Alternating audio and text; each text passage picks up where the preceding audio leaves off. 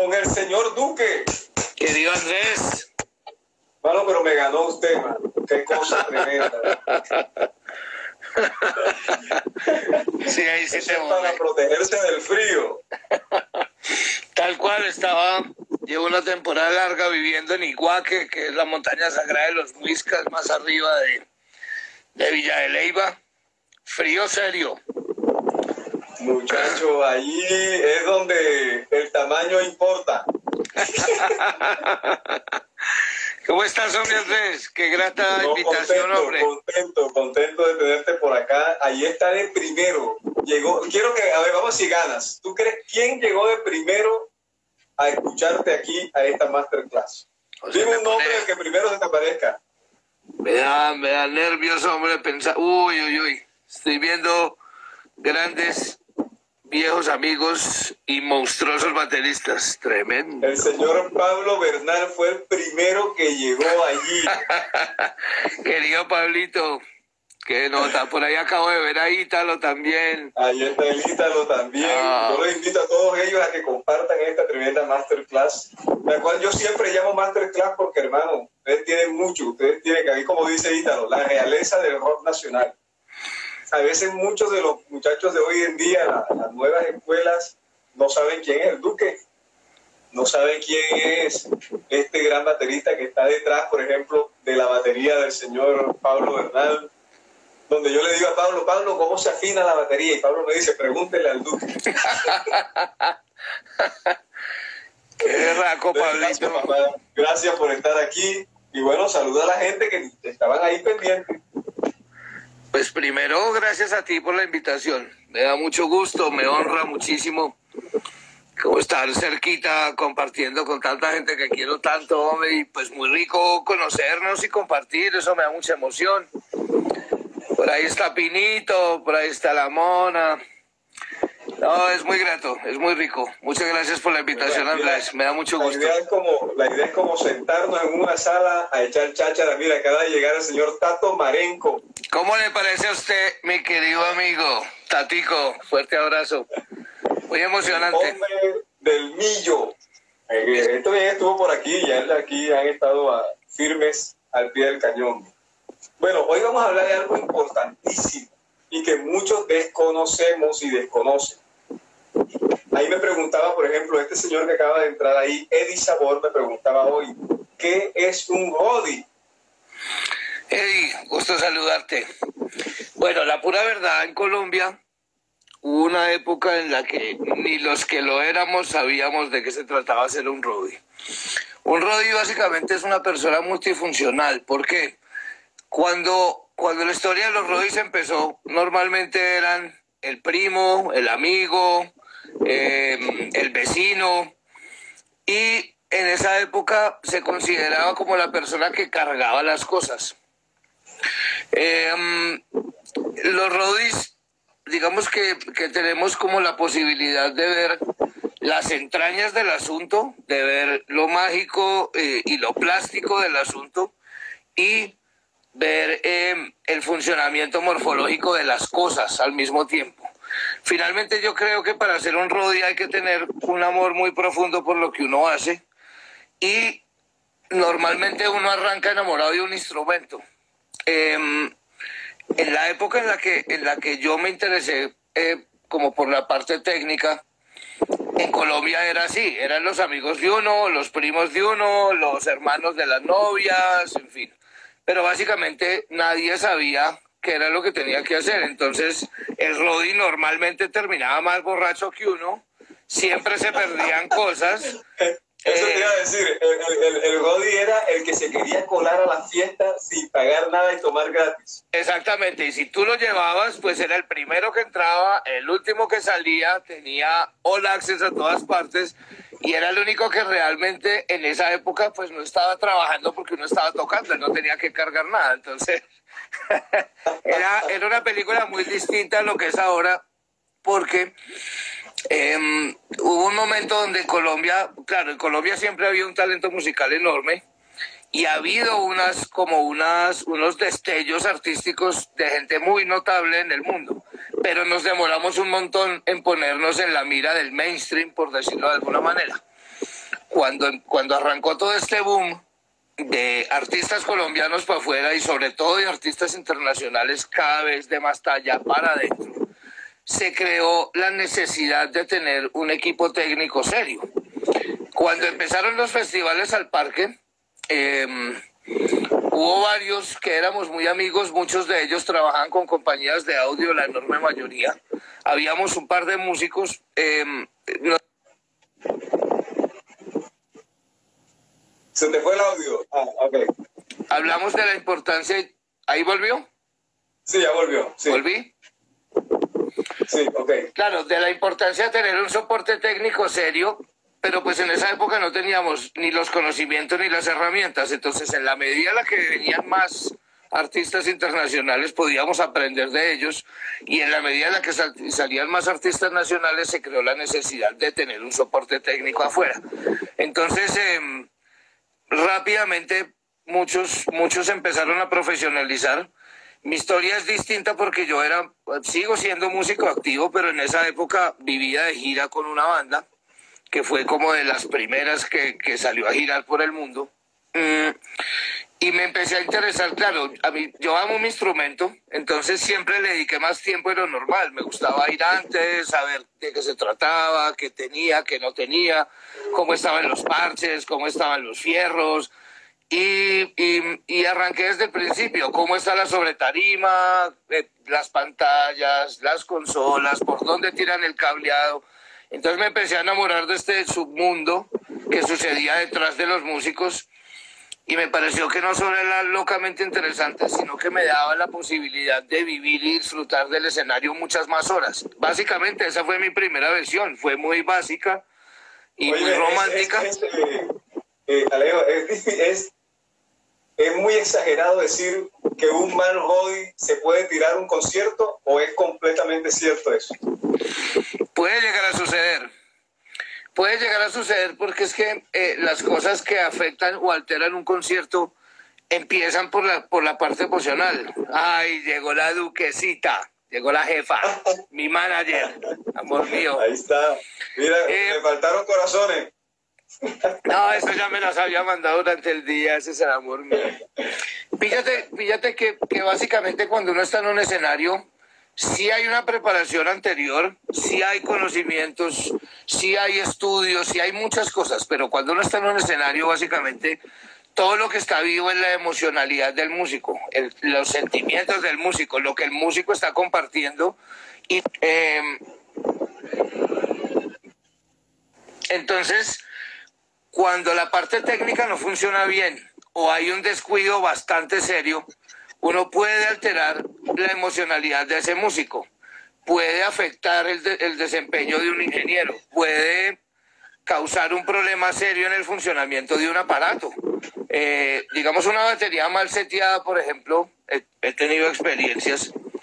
Eh, me pasó alguna vez que insistí mucho en que la batería tenía muchos problemas con las patas del bombo. Insistí en que me dejaran arreglarlos pero el personaje todo el tiempo me decía, no, Duquecito, eso aguanta, hombre, eso le han dado ya como seis bandas y eso no va a pasar nada. Y yo por dentro pensaba, pero si ya le han dado garrote seis bandas con mayor razón, eh, hay que revisar esas patas de ese bombo, hombre, que no pasa nada. Terminé tumbando la batería de la sobretarima. O sea, perdón por el lenguaje, pero básicamente me cagué el concierto. Pero el que se realmente metió la pata fue el dueño del backline porque no me hizo caso, no me creyó. Y yo dije, bueno, listo, vamos a probar esta batería a ver hasta dónde llega. Empecé a golpear y a golpear y a golpear viendo cómo se movía. Vi como una de las patas se regresó y se entró.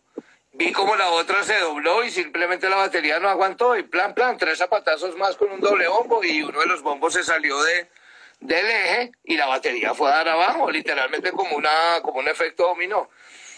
Él llegó muy bravo a insultarme, obviamente me quería asesinar. Yo le decía, brother, te lo dije, te lo advertí, te pedí el favor, te mostré, te... yo hice lo que yo tenía que hacer y lo que usted me dijo que hiciera. Ese día aprendí que yo no me puedo confiar de nada ni de nadie. Entonces, la verdad, la enorme mayoría de las veces que yo toco, llevo absolutamente todo hasta el tapete.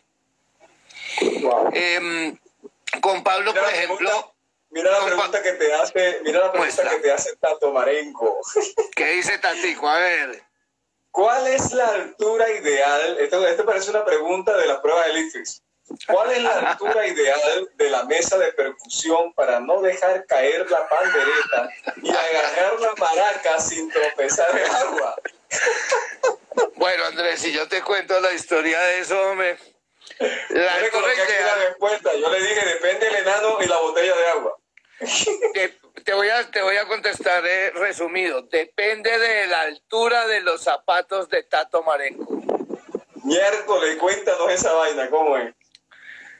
Eh, pues me pensé en no profundizar en el tema, pero mi querido Tato y yo tenemos una relación muy, muy intensa porque estamos muy cerquita geográficamente en el escenario. Y básicamente hacemos una cosa que es, yo pienso que es como la salud a la hora de vivir de gira y es que vivimos cagados de la risa por todo lo que podemos. Siempre estamos haciendo chiste, chanza, chiste, chanza. Las mesas de percusión tienen una peculiaridad y es que las que nosotros usamos tienen una barra que une las dos patas. Entonces eso hace que sea una mesa firme. La mayoría de los backlines de toda Latinoamérica ya han perdido esa barra, entonces las dos patas quedan como un par de paticas enclenques que se mueven y que se bambolean. Yo empecé asegurando eso con cita y haciendo un montón de cosas hasta que descubrimos que el ideal era lograr la altura que permitiera que por más que Tato bailara y se despelucara, la mesa se moviera lo menos posible, obviamente en principio para que no se cayeran las maracas, para que no se cayeran las gaitas, las gaitas, para el, millo, en fin. Y un día Tato viene y me dice, claro, hay un chiste ahí eh, medio vulgar que es que es... Eh, fue puta. Y fue madre Tato, te la voy a cobrar. Tatico viene y me dice, Tatico, pero entonces vení, ¿cuál es la altura que necesitas? Y me dice, altura, la de este. Y yo le dije, sí, ah, bueno, listo. Y, y ahí para adelante me di la altura a la cadera de Tato y nunca se la volví a mover. Duquecito, bájame un poquito la mesa, parcero, no. Pero ¿cómo que no? Me que está muy alta. No, papá, usted, usted, no ha crecido nada. Y el chiste se empezó a volver reiterativo, pero finalmente encontramos la altura correcta. La altura correcta es la cintura de Tato Marenco. ¿Cómo le parece a usted? Para no profundizar en detalles. Traté de, ser lo, menos gráfico posible y fue madre Tato te la voy a cobrar. Pero píllate que, pero que eso es lo que hace que, que los técnicos podamos hacer de verdad una labor importante al final de cuentas.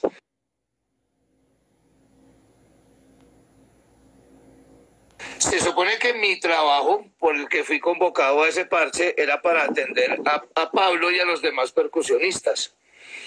Em, pero la relación se vuelve tan intensa y tan profunda que uno no, uno no descuida ningún detalle. Entonces, mientras yo estoy mirando a Pablo, también estoy mirando a Rosado, también estoy mirando a Eder, también estoy mirando a Darwin, pero en ese mismo foco, desde donde yo me paro, a la primera persona que yo veo, de hecho, es a Tato. Entonces, se vuelve muy rico porque trabajar como roadie, para, para redondear la pregunta anterior, para trabajar como roadie yo creo que lo primero que uno debe ser es buen amigo de los amigos.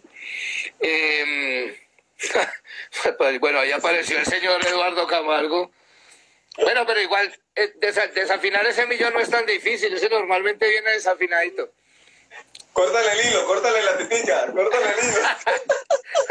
Ahí se lo desafiné.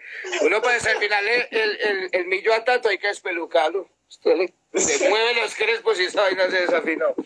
Entonces, claro, cuando tú eres amigo de tus amigos, pues tú siempre estás procurando que el bienestar de tu amigo. Entonces, ser Rodi se vuelve muy fácil hasta el momento en el que de verdad hay que solucionar cosas como tú me preguntabas que trascienden en un show. Entonces, em, yo por ejemplo soy muy juicioso con el estado de los parches, con el estado de los entorchados. Soy súper obsesivo con eso. Es lo primero que yo reviso en una batería. ¿Cómo están los parches? Ahí apareció el querido amigo Tomás. Hay un montón de gente muy linda ahí conectada. Jaime, Jaime Aníbal de León de Panamá. Ahí Encantador, qué nota. Entonces, claro, eh, esto es lo primero que yo reviso porque yo tengo la claridad de que si se desafina un tom, primero, pues trabajo para un baterista que todos sabemos que es eh, eh, como de los papás de los pollitos. Entonces yo no me preocupo, yo no me preocupo tanto por ese tom, primero, porque si la cosa es muy seria, sé que Pablo va a poder solucionar en su, en su acción eh, el no usarlo. Si lo usa y descubre esa, esa desafinación y ve que yo estoy en problema, pues él lo puede corregir fácilmente. Mientras que un daño como esto sí puede hacer literalmente que usted se quede sin redoblante. Entonces muchas veces yo procuro ver los detalles que, que sé que afectarían de verdad notablemente un show. Primero, porque afecta la emocionalidad del baterista. Eh, a, ti te cambia la película y pasan varios compases en los que uno en vez de estar pensando en la canción está pensando en el problema. Y un drum tech eh, básicamente es un solucionador de problemas. Ojo, el ideal de un técnico cualquiera es verse, notarse y sentirse lo menos posible. Me pasó con un baterista monstruoso, absolutamente monstruoso, que se convirtió en gran amigo eh, por cosas de la vida. Eh, ni él hablaba mi idioma, ni yo el de él. El idioma que teníamos en común yo lo hablo en un nivel muy escaso. Afortunadamente sí a nivel de trabajo. O sea, yo me desenvuelvo con el inglés fácilmente a nivel laboral. Eh, entonces nos hicimos amigos entre risas y chanzas porque nos costaba mucha la comunicación, pero, pero este es un sueco enorme, básicamente es un vikingo como los de las películas, y para él yo era la versión colombiana de un vikingo. Entonces él me decía el pequeño hombre de las, de las cuevas, de Caveman. Y decía que yo era como un, eh, ¿cómo era que decía? Pero sí, básicamente era un hombre primitivo como él, que vivíamos de golpear eh, cosas con palos. Y nos toteábamos de risa y nos hicimos grandes amigos. El reto para mí era enorme, era enorme, enorme. Y la primera vez que fue a arrancar el show, la, como la costumbre nuestra es estar o al lado o detrás de nuestro baterista. Y es la primera y única vez que lo vi, me abrió los ojos y yo dije, puta, me van a matar. ¿Qué, pasó? ¿Yo qué hice o qué dejé de hacer? Y me hizo señas de que me fuera, pero muy bravo, de que me fuera, de que él no me quería a su lado. Claro, yo no me quiere, ¿qué pasó aquí? Me sentí a un lado muy juicioso, más regañado que un berraco, arrancó el show, de eso ese show está grabado y cada vez que veo esa imagen me, me toteo de risa, porque de verdad yo quedé con una cara de regañado, pues claro, me regañó un man el doble de grande, un vikingo enorme, gigante, que había sido muy amable hasta ahí, pero era mi primer show con ellos. Y em, después me dijo, Alejo, perdóname pues por lo grosero que fui, pero, pero tú qué hacías ahí al lado mío. Y yo le dije, no, pues es mi labor, yo soy tu, tu drum tech. Me dijo, no señor, la labor suya se terminó cuando yo me senté en la batería. De ahí para adelante era mi lugar. Un drum tech no tiene nada que estar haciendo en la batería si estamos en un show. Ya es oficio del baterista. Usted tuvo todo el día para estar sentado en mi batería, entonces por eso le dije que se fuera a sentar allá. Y entendí que si mi trabajo está bien hecho, el baterista no me va a necesitar sino para reírnos, para sacarnos la lengua, para tirarnos agua, para, disfrutar del show y para compartir esa emocionalidad de ese show. Realmente eh, a nivel técnico, eh, yo no tengo nada que estar haciendo ahí, absolutamente nada que estar haciendo ahí. Entonces, digamos que fue como una primera lección muy, muy poderosa para mí. Em, entonces yo procuro hacer el trabajo de Rodi con muchos juicios por eso, porque después, para empezar, puedo disfrutar del baterista que admiro y que quiero profundamente, puedo disfrutar de un show eh, que afortunadamente, como te digo, pues al viajar con, con, con, la provincia, eh, vamos a lugares preciosos, escenarios muy lindos, hacemos montajes muy tremendos. Y pues compartir con Pablo es una delicia. Y finalmente todos los que somos músicos sabemos que todos los días estamos aprendiendo, todos los días somos alumnos y maestros al tiempo. Entonces, entre mejor haga yo mi trabajo, pues más chance voy a tener de estar en un masterclass con un maravilloso baterista, con un escenario maravilloso y de conocer el instrumento. Yo, por ejemplo, no soy muy Yamaha, he tenido unos contactos muy chéveres afortunadamente, pero tuve unos muy desafortunados, no con el instrumento, sino como con la época de mi vida. Tuve unas épocas en mi vida como raras, no tan chéveres, en las que tuve mucho que ver con un par de llamadas, entonces, no sé, me quedó como, como una tara muy boba. Cuando llegué a Pablo, em, en vez de aburrirme y, de, y, como de sentir ese malestar por saber que iba a trabajar con Yamahas, para mí todo ese tipo de cosas se vuelven un reto. Ah, listo. No quería Yamaha, listo papá. Bueno, a girar por el mundo con una. Y no con una, como nosotros eh, las baterías se piden en el backline. Yo me encuentro con una Yamaha nueva en cada lugar a donde vamos. Entonces para mí es un constante aprender, es un, es un constante disfrutar. Eh, entonces el Rodi se vuelve, un buen Rodi para mí es como el que se vuelve el Gocetas. Usted disfruta a su amigo, disfruta de su baterista, disfruta de poder vivir eh, la vida en un escenario que es de las cosas más maravillosas que uno le puede pasar. Y al mismo tiempo estás en el colegio o en la universidad, como se quiera ver. Uno siempre está aprendiendo, aprendiendo, aprendiendo. Y atender a los amigos es una cosa muy rica. Cuéntame. Te envían saludos desde Guatemala. Carlangas Drums. Por supuesto, mi querido Carlangas. El querido Carlangas, por ejemplo, es una de esas personas que, que mete el hombro seriamente por, eh, por el mundo de la batería en Guatemala. Eh, precioso batero, gran amigo, gran persona y una persona de verdad muy comprometida con nuestro instrumento. A ver. Yamaha Drum, mira, Yamaha hablando. Esta, esta, esta es de las mejores preguntas. Esta es de las mejores preguntas. De hecho, esa conversación con, con la familia Yamaha, yo creo que nos hemos encontrado dos o tres veces em, en que hemos, coincidido, que hemos coincidido y hemos tenido el chance de hablar de esto. Em, eh, a ver, esa, esa, pregunta la puedo contestar de varias maneras. Así puro a palo seco. Em, a mí me encantaría una, una live amaría, amaría eh, tener la experiencia con una live más tiempo. Porque son baterías que tienen mucha profundidad, tienen mucho cuerpo, tienen mucho peso. Y las baterías de los 90 eh, tienen unas características muy diferentes. Entonces, claro, mi, mi experiencia en esa época era encontrarme con las Maple Custom. Las baterías con un sonido súper pulido, súper fino, pero siempre son tonalidades medias altas. Ok. Y yo siempre he sido medias bajas, de hecho, ojalá bajas muy bajas y ojalá bajas ultra bajas. Entonces a eso me refería. Claro, yo en esa época tenía contacto con Power B Special, que es una batería maravillosa, con Recording, tristemente muy poquito, y me tocaron muchas Maple Customs. Y yo aquí usaba tamas de, de, toms largos, eh, entonces pues nunca encontraba mi sonido tuvimos unas conversaciones muy, muy, pues muy charras siempre con mis queridos amigos de la familia Yamaha. Y, y, en la última temporada con Pablo nos, nos, topamos con las live, que son realmente maravillosas, y con el oak, que es una madera que no, que no era muy, muy conocida, que no era muy comercial, y en la última década sobre todo ha ido metiéndose por todos lados, y ya todas las marcas están trabajando con esa madera.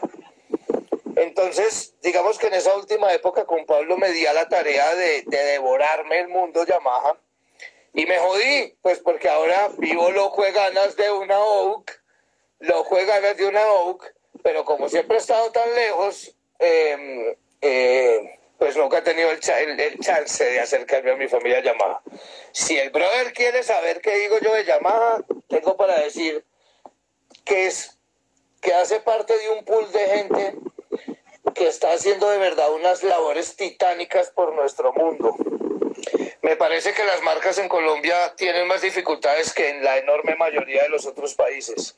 Entonces me parece que quien se mete en este mundo de las marcas, de los sponsors y demás, eh, sí, mi querida Ítalo, es Roble, correcto.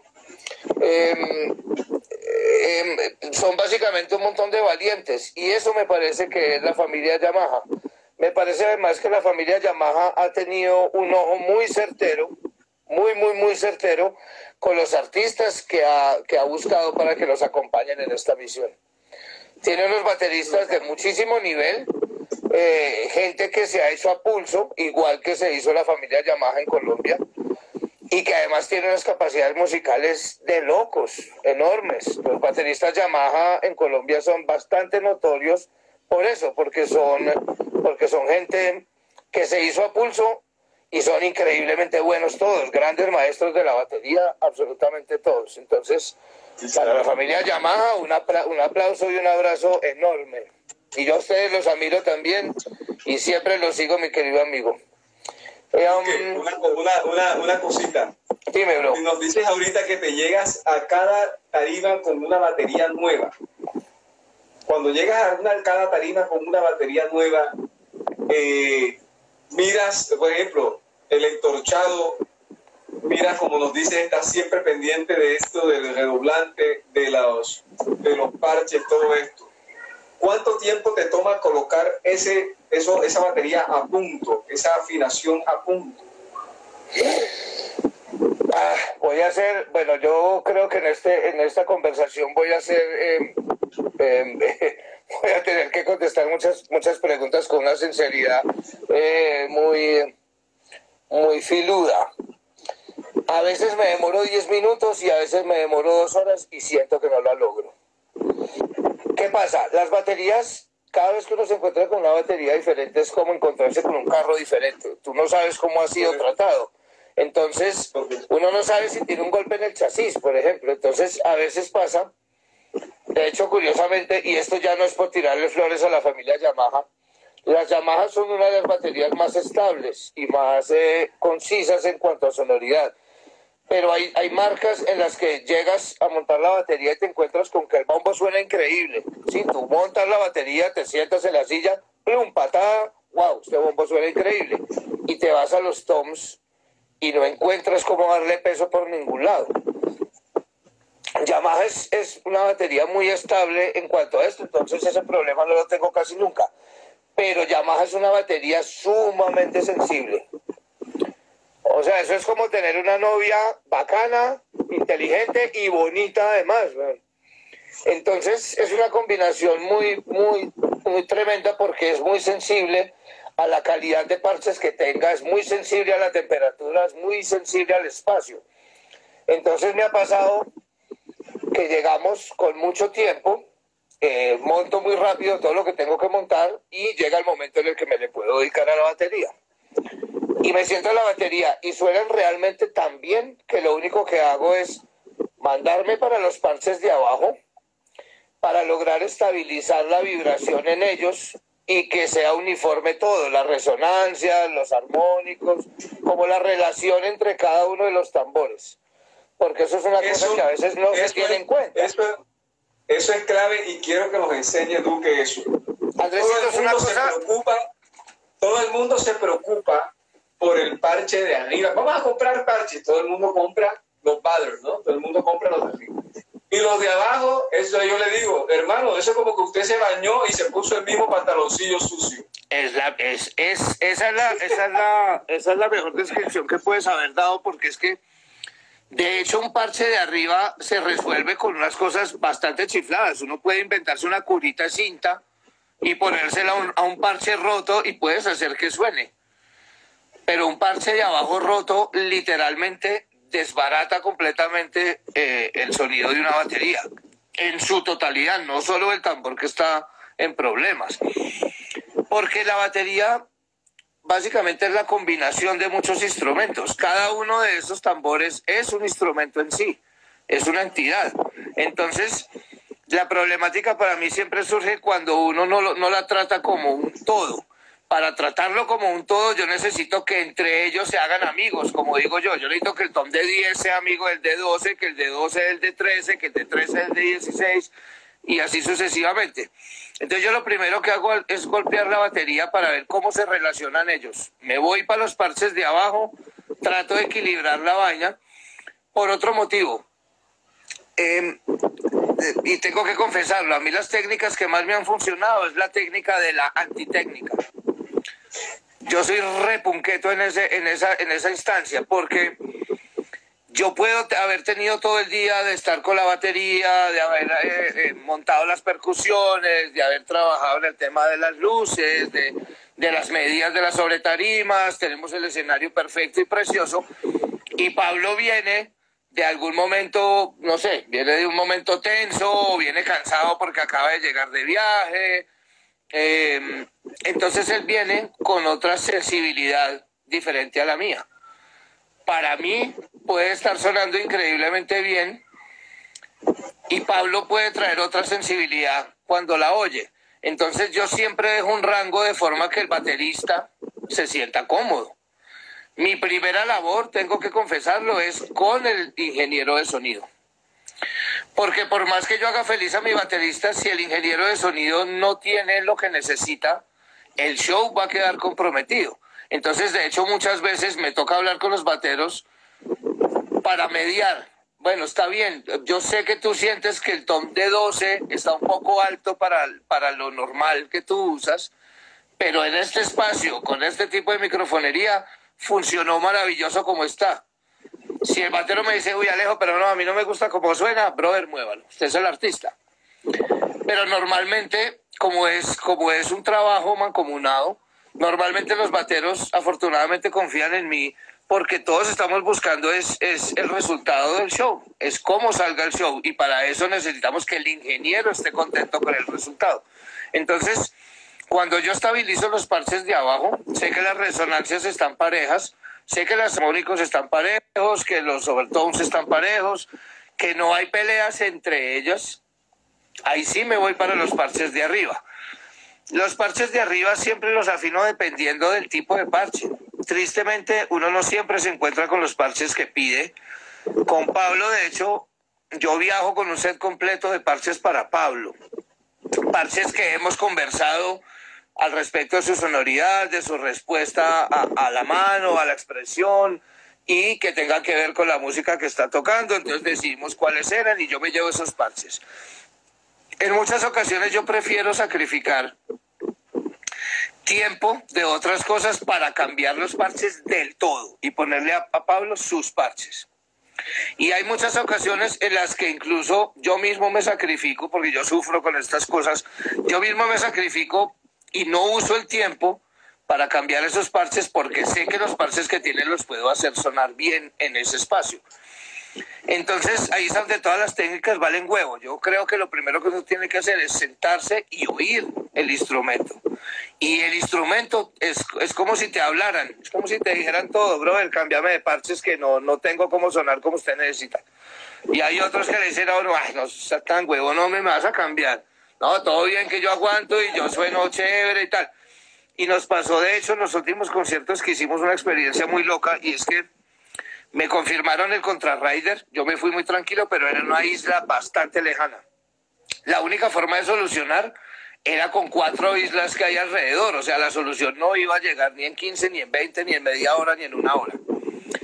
Eh, estábamos muy apretados de tiempo, estábamos muy, muy cansados, estábamos muy toteados. Y cuando yo llego al lugar de noche a revisar, me encuentro con que la batería que habían puesto era una Yamaha Recording de los 80, la cosa más preciosa del mundo. Se nota que toda la vida la amaron porque estaba en un estado maravilloso, pero ninguna de las medidas era. Ninguna. Ni los parches tampoco. Sonaba bastante raro y yo me preocupé un montón porque vuelve y juega. Mi interés siempre es que, es que pues, eh, el artista esté lo más cómodo y lo más contento posible. Pensé inmediatamente en el ingeniero qué era lo que le iba a pasar al ingeniero al encontrar eso y dije, no, necesitamos resolver. La solución terminó siendo un híbrido de dos baterías muy diferentes. De una, entre una Yamaha y una Tama, monté una batería para Pablo. Eh, obviamente cruzando los dedos, primero que a Pablo le gustara y que se sintiera cómodo con lo que estaba encontrando, y segundo que le funcionara el ingeniero. Entonces, si yo hubiera tomado una mala decisión, si Pablo se encabrona y no toca cómodo, si lo que le llega al ingeniero no es lo que él necesita, em, yo sé que hubiera podido afectar de pésima manera el show. Entonces fíjate que hay detalles muy, muy pendejos, o sea, yo no tengo que que hacer nada dramático, sino normalmente es dejar de hacer algo dramático eh, para, para, para, para tirarme un show. Si yo no hubiera tomado esas decisiones tan suicidas, pero con tanta conciencia y con tanta responsabilidad, posiblemente me hubiera tirado el show. Pablo sí la miró como raro y me dijo, no puede ser, weón, eso es un tontal y esto es un tontal. Y yo, Pablito, sí. Pero funcionó bien, sonó una nota, Pablín, siéntate, y se sentó y me dijo, marica, pero una chimba. Y el ingeniero me dijo que sí, todo suena una chimba. Y se hizo el show y salió muy, muy bacano, muy, muy bacano. Has, has dicho varias veces lo que me preocupa también lo que el ingeniero reciba. O sea, me preocupan dos cosas. La tranquilidad de Pablo, que ahí está exaltándote, él te adora a ti, Pablo. Y yo a él, y yo a él profundamente. Y segundo, te preocupa mucho entregarle al ingeniero de sonido algo muy fácil de digerir para él. ¿Qué es eso? ¿Qué es, qué es, qué entregarle algo al ingeniero. Cuéntanos de esa parte ya. Es lograr un sonido coherente con la música y con, y con el equipo que usa el ingeniero. El equipo que usa el ingeniero uno lo nota muy rápidamente viendo qué tipo de microfonería es la que él quiere usar, cuáles son las distancias, los ángulos que maneja a la hora de microfonear, cuál es la relación suya sonora con los tambores y con los platillos yo empiezo a ver todo esto y para mí es como hacer una lectura del ingeniero, es como si lo pudiera escanear. Yo ya sé que si él pone tal micrófono y lo pone a tal distancia y a tal altura y con tal ángulo, es porque le gusta tener mucha resonancia en un tambor. O si lo pone de X o Y manera diferente, quiere no tener ningún tipo de resonancia con el tambor. Cuando un ingeniero me habla a mí de parches, yo ya sé que es necio. Yo ya sé que, que el mal le gusta, no le gusta el parche ambasador porque genera medios altos a la lata y le cuesta mucho controlar los armónicos. Yo ya sé que si me piden exacto, porque son muy largos. Sí, se vuelve, se vuelve muy larga la resonancia. Y ellos lo que necesitas más es lograr el impacto de la baqueta del batero. Entonces normalmente suelen preferir. A meterle compresor, a meterle compresor esa vaina después. Claro, entonces si yo como técnico entiendo y leo bien a mi ingeniero, le voy a ahorrar un montón de trabajo. Lo que digamos en un estudio sería postproducción. Si yo trabajo bien una batería en un estudio de grabación, normalmente los ingenieros abren la batería y se vuelve a poner un tricito de compresión aquí, un poquito de reverb aquí, abrir un poquito el ángulo de los overheads aquí y no tienen más que hacer porque tienen una buena batería con un gran sonido, un buen batero, eh, un, buen, un buen instrumento lo hace todo. Cuando un ingeniero tiene que trabajar mucho en postproducción es porque la labor mía no quedó tan bien hecha. Entonces, cuando yo le mando un instrumento bien trabajado al ingeniero, el ingeniero con Pablo se demora cinco minutos, entre cinco y diez minutos. Nunca se ha demorado más con Pablo, porque encuentra una batería trabajada muy bien, porque encuentra un super batero y un super instrumento. Entonces, realmente ellos abren la batería, la adaptan al lugar hacen dos o tres ajustes y ya quedan dichosos. Y eso hace que se agilice mucho más todo el trabajo y que el resultado sea mucho mejor. Óyeme, pero entonces tu trabajo es complejo, o sea, tienes que saber de micrófonos, tienes que saber hasta de cableado, tienes que saber alturas, tienes que saber física, sí. porque es física prácticamente. Sí, Ahora de hecho, sobre eso también, cuando te encuentras las diferentes alturas de una tarima, eso también cambia el sonido, ¿no? De la, a mí, por ejemplo, eso, eso ha sido un reto muy grande trabajando con la provincia. Em, a ver, el, primer reto para mí, de hecho, cuando entré, tengo que, tengo que em, confesarlo, fue la disposición en la que usa Pablo la batería. Pablo es un baterista de hard rock, para mí, de los grandes bateristas de rock que ha visto nacer Colombia.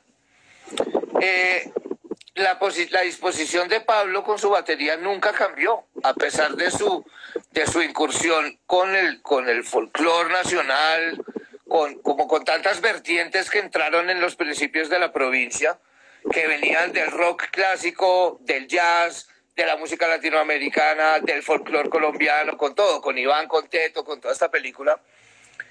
Pablo sí, eh, eh, el sonido de Pablo fue lo que logró para mí que la provincia fuera realmente la primera gran banda de fusión que tuvimos en Colombia. La primera banda que exploró el sonido colombiano desde, desde muy adentro. Porque digamos que la diferencia con el papá de los pollitos, que es Einar Scaff, es que Einar es un baterista de jazz. Pablo es un baterista de rock. Entonces Pablo no cambió la disposición de su batería. El golpe de Pablo es macizo, como el de la madera misma. Entonces em, me di cuenta que yo mismo me estaba complicando, porque todo esto que te he hablado se me desbarató porque me senté en la batería y solamente la altura y la inclinación del redoblante de Pablo es exactamente contraria a la mía. Yo pongo el redoblante o plano o inclinado como los yaceros hacia adelante. El redoblante de Pablo siempre está en esta disposición, que era realmente la posición de los bateristas de hard rock.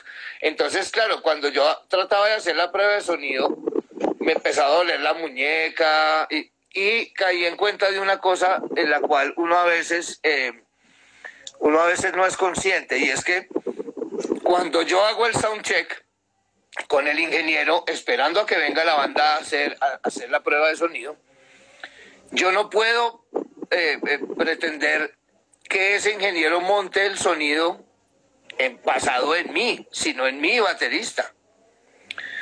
Entonces yo en esa medida tuve inmediatamente que aprender a tocar un poquito como Pablo Bernal. Tenía que darme cuenta cómo golpeaba Pablo, a qué altura ponía su silla, cuál era la inclinación, digamos la apertura de sus rodillas, que hacía que él tuviera acceso al redoblante. Aprender un montón de cosas del mundo de Pablo para tratar de generar el sonido de Pablo en ese tambor y que el ingeniero me mezclara a mí como si yo fuera Pablo. Y que al Pablo sentarse el ingeniero no tenga que volver a mover todo porque le cambió el sonido. Y eso pasa un montón. Eso pasa, por ejemplo, mucho en los festivales grandes. Rock al Parque. No sé, yo pruebo la batería y pues yo vengo de una raíz muy potente, muy pesada, tengo una mano dura, golpeo con la baqueta al revés, eh, muchas cosas. Entonces, claro, yo seteaba las baterías y después esa mierda no sonaba y yo decía, pero hijo de puta, ¿qué hice mal? Y los ingenieros me decían, Duquesito, es que usted viene y toda la consola yo la tengo seteada para usted. Si llega un batero que es 10 años menos, que pesa 40 kilos menos y que toca eh, eh, pues ultra pop, pues obviamente ese man no le va a, no le va a sonar y lo que yo recibo no es ni el 10% de lo que usted me dejó. Entonces, ah, gran error mío sería siempre emocionarme dándole uh, dándole garrote a la batería porque qué dicha y me puta oírla eh, amplificada en un estadio y tal y descuidar el sonido del artista realmente.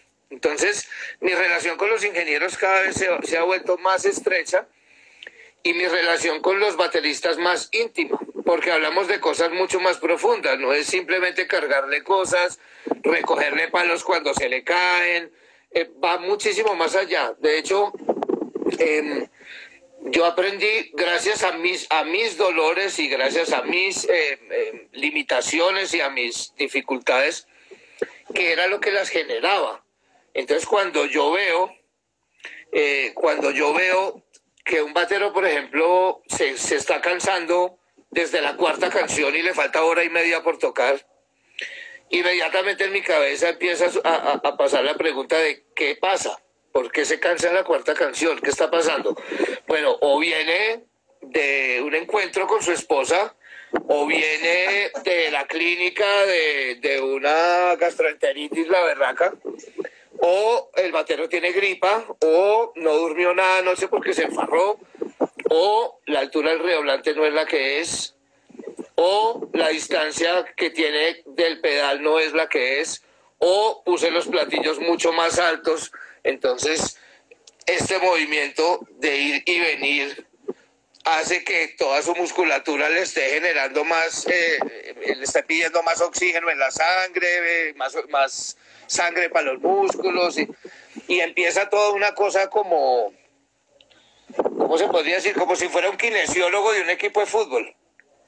Los, los kinesiólogos en los equipos de fútbol se dan cuenta según cómo frenan, cómo manejan el balón, tal, si, si deben usar taches de aluminio, si deben ser nueve taches, o taches de caucho, o taches altos, o con los bateristas pasa exactamente lo mismo. Cuando sentado, cuando un batero no está a la distancia que es, cuando un baterista...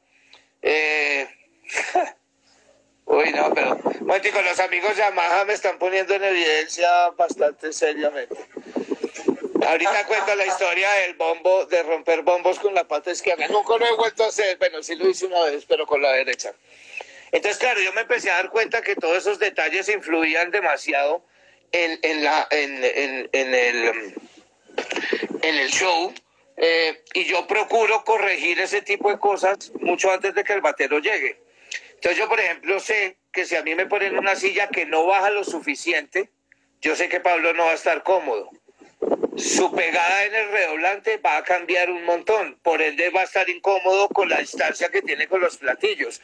Y eso se va sumando y básicamente Pablo va a tener un show horrible, porque él se va a sentir terrible. Entonces antes de que Pablo llegue, yo peleo y, hago traer seis sillas de batería, si es el caso, para lograr la silla que baja a la altura a la que Pablo yo sé que va a estar cómodo y va a poder realizar todo el show de buena manera. Con Pablo nos pasó, nos dimos cuenta que, que en algún momento que empezó a tener molestias en las muñecas, nos dimos cuenta que, estaba arrancando el show con un calibre muy pesado de baqueta. Entonces, entonces se vuelve como si tú arrancaras al revés, arrancas con el acelerador a fondo y pues obviamente va disminuyendo la cosa. Y, y, la angustia que a uno le genera eso hace que uno comprima más la baqueta de la cuenta y lo hace hacer unas presiones que no son normales. Eh, genera una tensión. Exactamente, entonces eh, hay como un montón de detalles que, que, que, empieza uno a tener. A ver, que, que, uy, mi querido Malandrius, otro monstruo.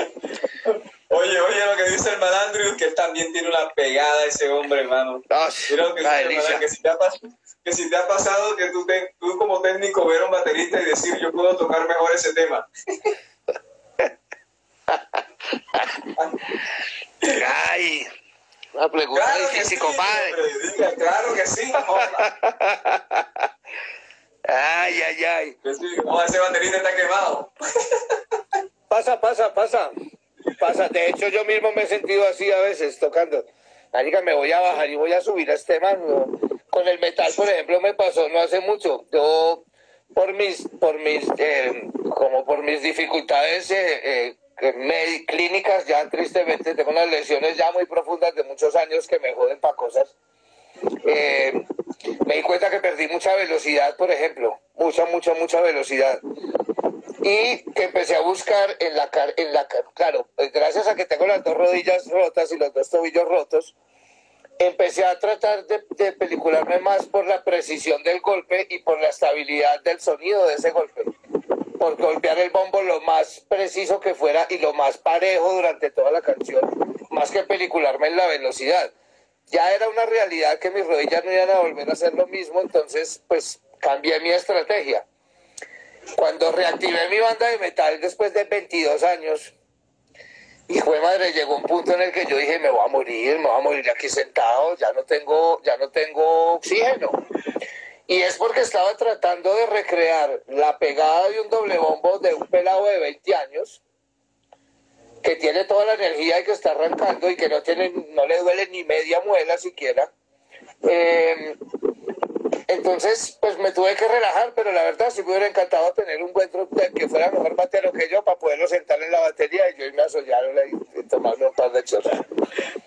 Mira lo que te preguntan ahí, Duque cuando, eres tú el baterista, ¿qué elementos crees clave para sentirte cómodo con el bajista? Ah, yo creo que yo creo que la primer, como que la base de la comodidad parte de, la, de la amistad y de la compinchería y de la admiración del uno por el otro.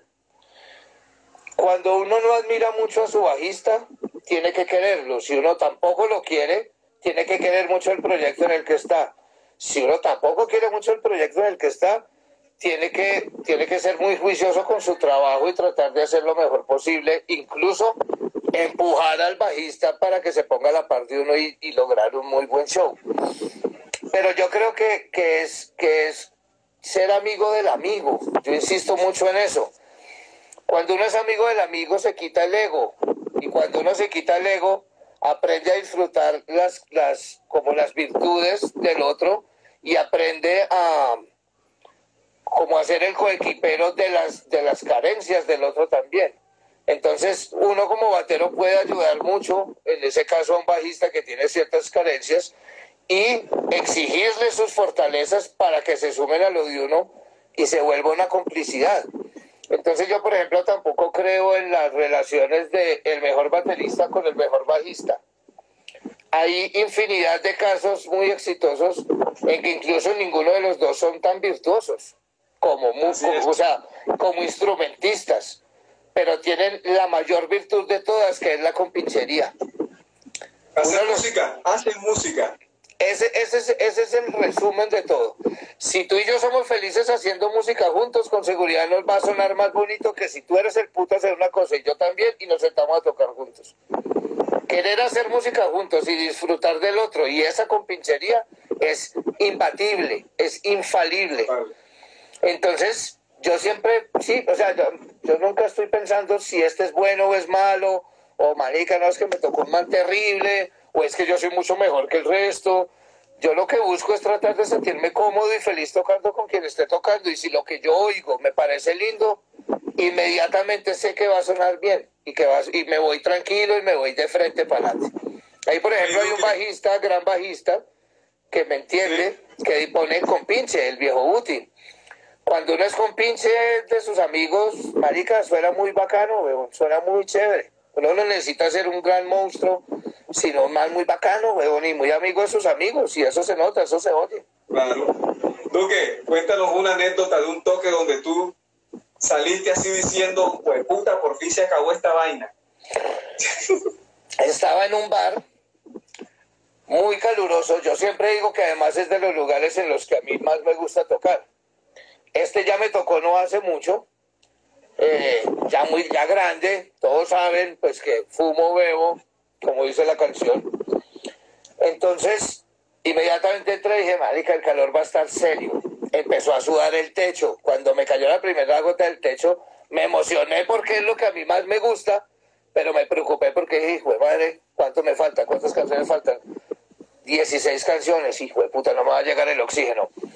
Cuando faltaban cuatro canciones, lo único que yo pensaba, además el bar era un chorizo, clásico lugares donde tocamos los rockers, que uno entra y el escenario está al fondo, pero allá la, mierda, mierda. tres cuadras más allá. Y un momento donde yo dije, bueno, la, ¿qué opciones tengo? ¿Qué canción sigue? No, pues volteo esta para acá, que esta tiene una introducción larga, salgo corriendo hasta afuera, tomo aire y me regreso y termino el concierto.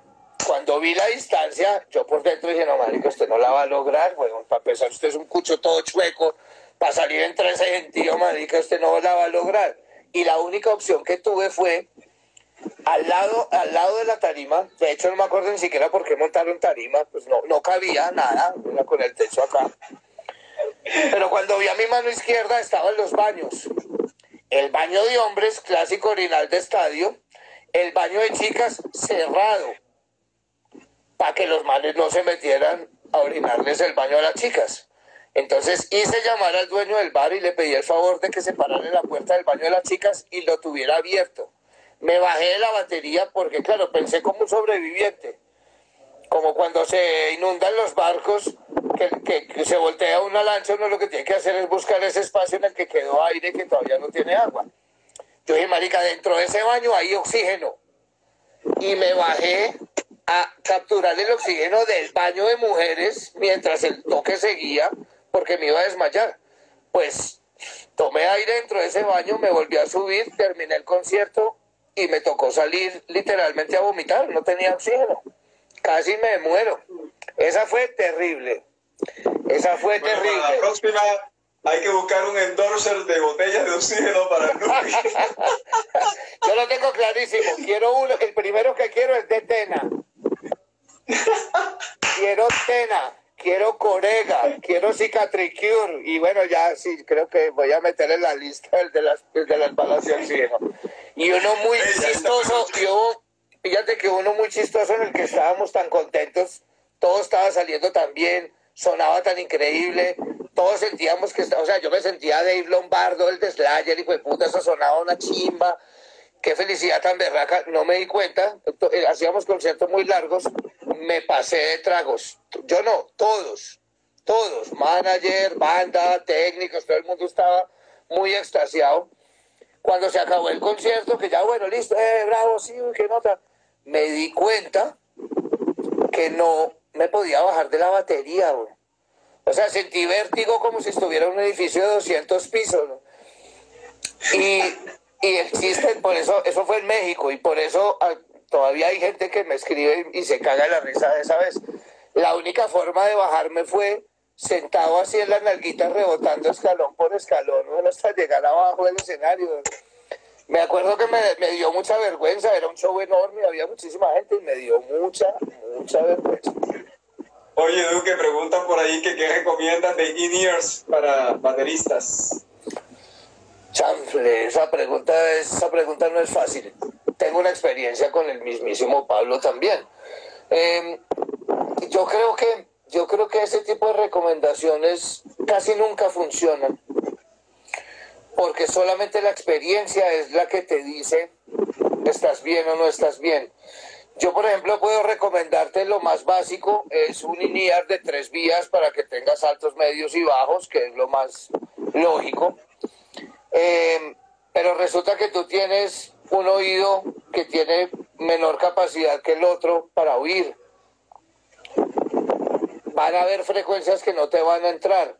Hay gente, por ejemplo, hay ingenieros que te digan, no, pues obviamente uno de cinco vías o una cosa súper sofisticada, que la mayoría de veces son frecuencias que solamente nota un ingeniero que estudia ingeniería durante 15 años. Un baterista no alcanza a notarla porque tiene el ruido de los amplificadores, de subs, de un montón de cosas. Yo particularmente recomiendo siempre arrancar con cosas básicas, convencionales, común y corrientes. Porque en ese arrancar con una cosa común y corriente es cuando uno empieza a encontrar qué características te hacen falta. Entonces tú dices, marica, no, a mí me hacen falta bajos. Entonces tú empiezas a buscar unos INIAS que tengan esa característica específica.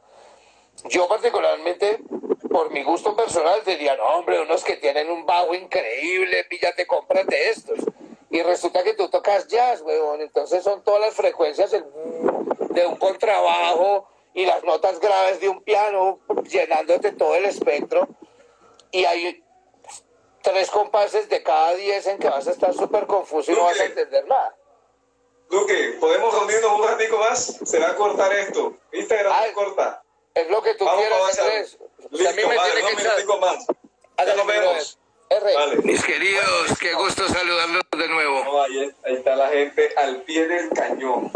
Oye, Duque, de verdad, esto que estamos hablando de tanto detalle, porque mira que como comenzó esta industria, el cargador, el que cargaba, lleva, me trae, pero tú llevas la cuestión a otro nivel. O sea, tú llevas la cuestión a un nivel extremadamente profesional, que debería, debería, digamos que estudiarse como tal. O sea, estudiamos música, estudiamos armonía, estudiamos, pero hermano, ¿quién estudia la capacidad física del instrumento como tal?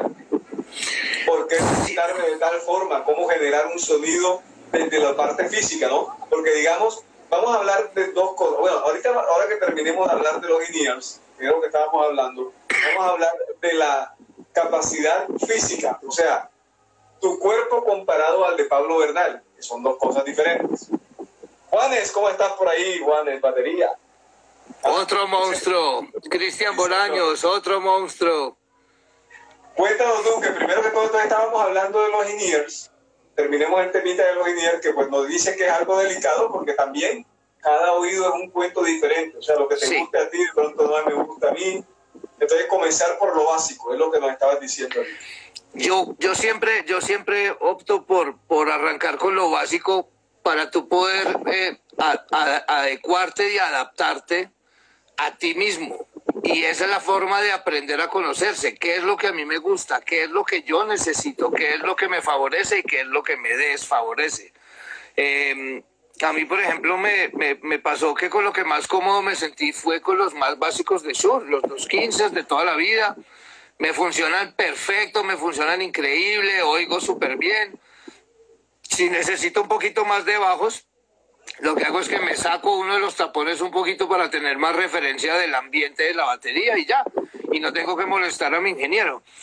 Cuando he usado eh, auriculares con muchas vías, siempre hay frecuencias que se me enredan y se me confunden. Y entonces cada vez que lo noto me desconcentra. Y ya sé que hubo un compás que, que disfruté menos gracias a que estaba pensando más que lo que estaba sintiendo. Y eso no me gustó. Entonces yo arranco siempre con lo básico. No es fácil el tema de los INIAS. Y me pasó una cosa muy loca y es que en algún momento dije, listo, ya sé qué quiero. Y apareció la primera marca nacional. Personaje muy chévere. Eh, conversamos y nos caímos re bien y bueno, muy bien. Entonces, tal cual, tal cual, mi querido malandro. Entre más vías, más enzorre, güey. Entre más cosas, más problemas. Entre más microfonería, más en gallete. Entre más. Mm, pero lo que me pasó con él es que me dijo Alejito: el ideal es unos cineas a medida. Sacó los moldes, yo me impacté mucho porque me sacó los moldes en cinco minutos y yo no, marica, mis cineas los hizo a medida. Uf, fue puta el color que yo quiero. No, marica, personalizados, qué cosa más chimba. Muy bien. Me, me fui con mis inidas muy feliz. Al no mucho tiempo después, me hicieron un tratamiento terrible en la boca. Tuve un problema enorme y me tuvieron que hacer injertos de hueso. O sea, esto fue una cosa terrible, así una carnicería salvaje cuando pasó toda la pesadilla, yo me senté en mi batería normal, ya sin pesadilla, ya el duque todo feliz otra vez. Me fui a meter mis cinías y había uno de ellos que nunca entró, nunca volvió a entrar. Todo lo que sucedió en la mandíbula. Afectó, claro. Mandíbulas, todo ese tipo de modificación en la mordida y etcétera, etcétera, hizo que cambiara la forma del oído y no me volvió a entrar uno de los cinías. Entonces, otra lección. El oído es una cosa muy seria, muy, muy, muy seria. Eh, que por muchas generaciones... Eh, pero hablando de algo, digamos, por salud, es recomendable estudiar con los INIAR, es estudiable, es, es recomendable en las bandas que empiecen a usar esta herramienta como por salud o no lo ves tú así como de tal forma? Mi teoría es que sí. Mi teoría es que sí y ya voy a contestar por qué. Cuando uno no, em, cuando uno no se adapta a los INIAS, sino que cada vez que va a tocar en vivo recibe los INIAS y no ha trabajado con ellos, hay un desconocimiento eh, tácito en, en, la relación con los INIAS. Entonces, claro, uno siempre está esperando el volumen y la presión de un drumfield y uno lo primero que supone es, ¿cómo hago para que me entre todo esto entre estos INIAS? Entonces uno sobrecarga los INIAS la mayoría de las veces. Pone mucho bombo, pone mucho bajo, empieza a poner mucho, mucho, mucho, mucho. Perdón, y llega un punto donde saturas el oído. Cuando uno tiene chance de trabajar con los INIAS desde los ensayos, uno aprende a dominar esas necesidades y a poner simplemente lo que necesita. Y cuando ya está cómodo, deja de joder y deja de pedir. Cuando un, cuando un baterista está pidiendo muchas cosas, muchos cambios en el oído, yo insisto en que cada vez está complicando más el tema de frecuencias dentro del oído. Y llega un punto donde uno ya ni siquiera entiende qué es lo que está pidiendo, ya no entiende si se lo están dando o no, y ya no sabe si le conviene lo que le están dando o no. Como el bojacho, todo lo que suena, suena igual. Sí, sí, básicamente sí, pero, pero eh, uno, tiene expuesto el oído a una cantidad de, volumen y de sonoridades que no eran necesarias y hay más afectación en el oído así que, de, que si hubiera venido trabajando con él. ¿Tú, que, ¿Tú recuerdas esa época donde te colocaban esas JBL de tres vías al lado de la batería? Sigue, sigue pasando. Sigue pasando y ojo, hay momentos en los que yo las extraño. Llego, marica, que me pongan, que me pongan una, una cuña cualquiera por, ahí cerquita y ya no más. Me pasó de hecho no hace, no hace mucho, eh, hice un show en Tunja con una empresa nueva que nació en Tunja, maravillosa, que se llama Boyacá Streaming. Súper equipo, súper atención, muy preparado todo el mundo, súper chévere el ingeniero, etcétera, etcétera. Y yo les decía, muchachos, es mucho. Quiten, quiten, quiten. Pero ellos insistían como en brindar una, una súper una super, eh, soporte. Entonces, no, y NIAS y las cosas y yo no sé qué. Yo insistí mucho que no, entonces yo fui el único que no los quiso usar. Era, era tan bonito lo que sonaba que si yo me hubiera puesto a pedir lo que necesitaba, hubiera contaminado la mezcla terriblemente. Y me di cuenta que había sido un error mío porque no lo tuve en cuenta a la hora de hacer el setting del lugar. Todo el mundo se puso in ears. Yo no quise porque oía re lindo con lo que había.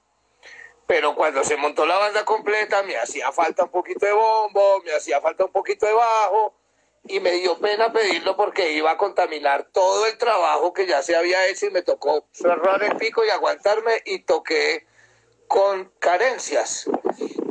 Y volví a pensar, tan burro, marica. O sea, uno lo que hace es sentarse, coger todas las opciones que tiene, probarlas y decidirse, están, estando seguro de qué fue lo que probó y de qué lo, para, para saber qué era lo que necesita. A ver qué pregunta. El querido Juan, la mezcla de monitores en batería. A Giuseppe, saludes a Giuseppe, República Dominicana, que entró por ahí. Eh, ¿Qué, recomiendas para, ¿Qué recomiendas para la mezcla de monitores en batería? Lo más simple y necesario. Yo creo que sí, yo creo que lo más simple y necesario sí. Yo soy muy amigo de, de sacarme un poco, de no meterme completamente los cinías para tener sonido ambiente. Eh, esa es como, como mi primera sensación y mi primera recomendación, porque en, en esa medida uno pide menos. Al pedir menos, hay menos afectación en el oído, hay menos complique a la hora de hacer una mezcla para el ingeniero. Y uno tiene un sonido natural de su instrumento y lo balancea con las necesidades que tiene. Entonces, si uno, digamos, está tocando para un solista, pues evidentemente lo que mejor tiene que oír es al solista la mezcla de batería, yo suelo hacer eso, yo me saco un poquito y veo si entre, si entre la relación que hay entre el, el, audio del ambiente de mi batería y eso que yo pedí es necesario, eh, pido algo más. Si no es necesario, la dejo tranquilita y me relajo. Me ha pasado, por ejemplo, en conciertos muy grandes en los que no tengo que pedir nada está el volumen al que están los amplificadores, que yo lo que hago es modificar mi stage plot. Entonces, por ejemplo, hay una banda con la que toco que los dos guitarristas todo el tiempo están a casi a tope. Entonces yo en vez de, de, pelear con esa situación, ya sé que son burros viejos igual que yo, llevan toda la vida en esas, están medio sordos y así es que sienten su, su, su, su como, como lo que les genera la, la, expresividad y la cosa, yo para qué me voy a poner a pelear con que ellos se bajen. Yo lo que hago es que pido bastante menos y modifique el stage plot para yo estar cerquita de los amplificadores. Entonces, digamos, en la era, en la era gloriosa del rock, en la era eh, eh, gloriosa del punk, la era gloriosa del reggae, siempre estaba la sobretarima de batería y el amplificador de abajo exactamente al lado. Ahora la tendencia es a poner los amplificadores al frente de la sobretarima. En esa época estaban al lado del baterista, o sea, al lado de mi oreja estaba el amplificador de bajo y de mi otra oreja estaba el amplificador de guitarra. Toda la... como, lo vemos, como lo vemos en las grandes tarimas con Kiss y como lo vemos en las grandes tarimas de estas están así esos escaparates armados. Todos, todos, ACDC, Van Halen, todos. Claro, uno ve la gran pared de Marshalls y dice, no, es que estos manes están oyendo una pared de Marshalls, pura mierda. Están oyendo el amplificador que tienen al lado. El resto todo es pantalla. Entonces yo, yo procuro cuando toco con mis bandas tratar de que el sonido del escenario sea lo más natural posible. O sea, tratar de recrear el sonido de, de una sala de ensayo donde uno se siente cómodo y poner eso en un escenario grande y amplificar eso. La otra fórmula siento que siempre se convierte en un video. Entonces, de hecho, hoy en día uno normalmente ve las baterías encerradas en una jaula.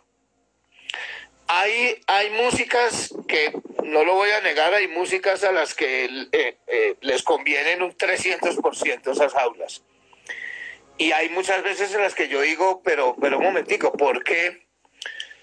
¿Por qué eh, si por tantos años, tantos bateristas legendarios los hemos visto y aprendimos de ellos sin estar enjaulados? Porque ahora resulta que no se puede hacer sonar esa banda si no es enjaulando al baterista.